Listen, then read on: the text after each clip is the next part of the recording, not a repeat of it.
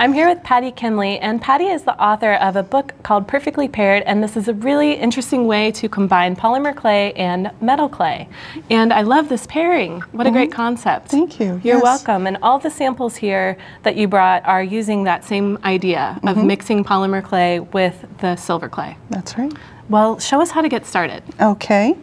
First of all, polymer clay can be used to make the textures for um, your metal clay. Mm -hmm. So I'm using a bendable formula of mm -hmm. polymer clay mm -hmm. and if you are comfortable drawing, you can use a, a stylus tool mm-hmm. and draw some lines mm-hmm. and patterns and just doodle making so, your pattern. If you're not comfortable drawing, you can use um, just anything, plastic cards, mm-hmm. um, tools from your from your table. This is just a little piece of tubing. So you're making a mold make some, here that you're going to use that's, That's clay. correct. And because you're drawing the mold, it's going to be more unique than if you went and bought a rubber stamp. Sure, which you could also do if you that's, wanted to do that's something right. quick. That's right. If mm -hmm. you mm-hmm. have a favorite stamp uh, mm -hmm. or, or an image that you want specifically, mm -hmm. uh, but you can draw your own and bring in your own style and personality. So for this piece, we're using, I just want to be clear about the different kinds of polymer clay that you're using. So mm -hmm. this one is the bendable This type. is the bendable mm -hmm. clay, and it, it is most the most bendable formula of polymer clay. Mm -hmm. And I make um, all of my molds and you, the molds can be used against metal clay mm -hmm. and they can be used against the polymer clay. So they are very versatile once you've made your own patterns. Uh -huh. So I'm gonna, going to use these two molds that I've drawn that are sort of complementary. There's the dots and the, the swirls and use that against some of the metal clay. And you always want to keep your metal clay wrapped tightly wrapped so up, that it doesn't yes. get any air. You don't want it to dry out. Mm -hmm. And so I'll set that aside. Mm -hmm. And you also are working on a craft mat here, it looks like.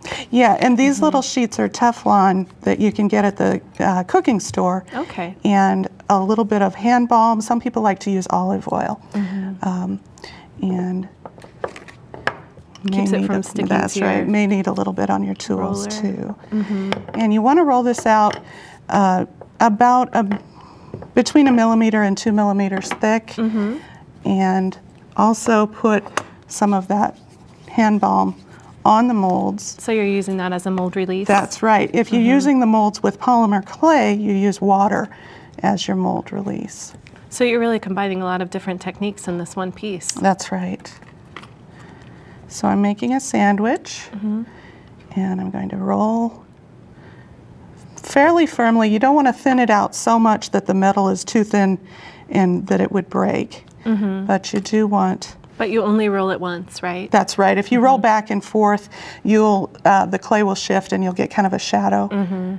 I do a lot of, of pieces with uh, text on them, and that's a problem because oh, then you get kind of a shadow yeah, behind the lettering. Right. So then I'm going to lay my my pattern piece against there, mm -hmm. and this piece is going to have a self bail.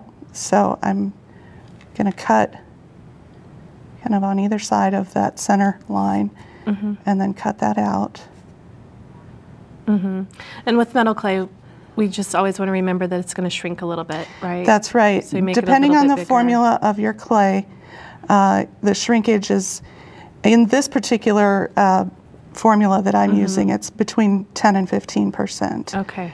Um, so just be prepared. That's right. it will come out smaller. Mm -hmm. And that's something that you would need to think about if there's a certain element that has to, that is a certain defined size right. and shape that you need.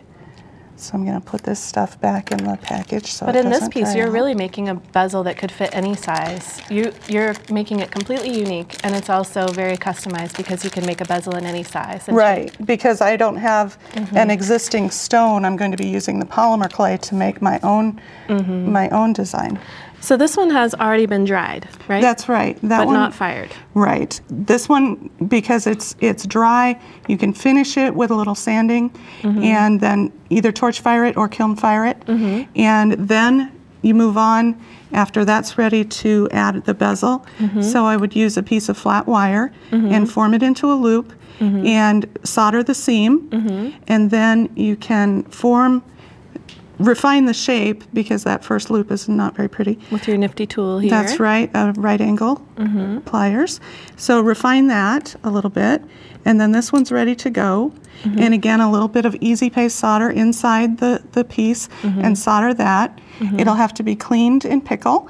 And then this one has been oxidized with a liver of sulfur solution. And then after it's all polished up, it'll look like this. So you have your bezel ready to go. It's ready to go and ready to fit my own polymer clay shape in there. hmm And you're using the granite type of This polymer. is a new new color, and so you form form that, Mm-hmm. and then the polymer clay doesn't get fired like the silver. The polymer Mm-hmm. clay just gets baked in a toaster oven or your home oven Mm-hmm. at 275 degrees. Then after after it's done, uh, the piece can be sanded and mm-hmm. buffed, and then you glue it. and then you glue it into the space. Okay, well, let's take a look at the finished ones again. And these are just beautiful. You've used all different colors of polymer clay in mm-hmm. the bezel settings that you mm-hmm. created. Different styles of technique. Great, well, thank you so much, Patty.